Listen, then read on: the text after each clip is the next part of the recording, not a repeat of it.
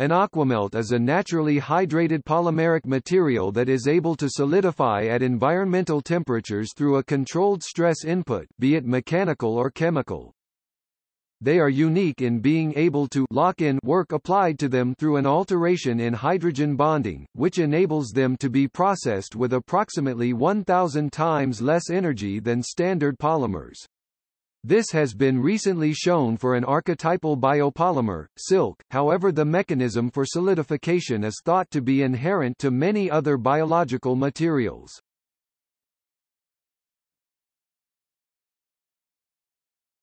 Topic. Discovery and mechanism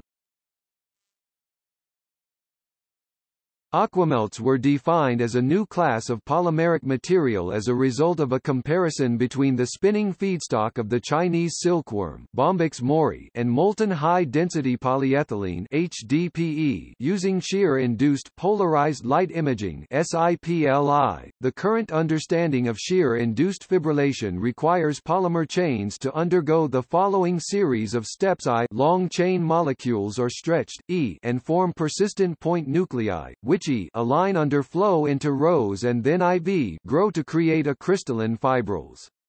For these fibrils to remain, the temperature of the sample must be lowered to below the polymer's melt point. This process is analogous to the fibrillogenesis of natural silk polymers in which proteins align refold, nucleate denature, and crystallize aggregate. However, for silks, fibrils persist without the need for a drop in temperature. From a macromolecular perspective the two processes are thought to be similar due to a native protein's unique interaction with its closely bound water. Much like an individual polymer chain in a melt, a native protein and its closely bound water molecules may be considered not as a solution but as a single processable entity, a nanocomposite termed an aquamelt.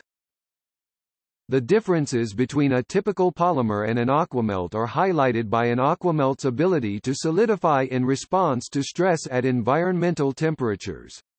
This occurs when the stress applied is sufficient to separate the closely bound water from the protein, splitting the nanocomposite.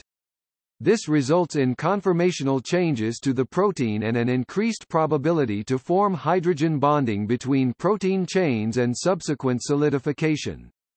Multiscale structures, i.e., fibrils or foams are the result of a combination of directional stress fields and the self-assembly properties of the aquamelt.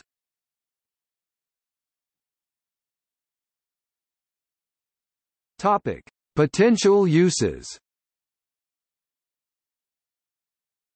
Aquamelts offer several advantages over current solutions to synthetic polymer production.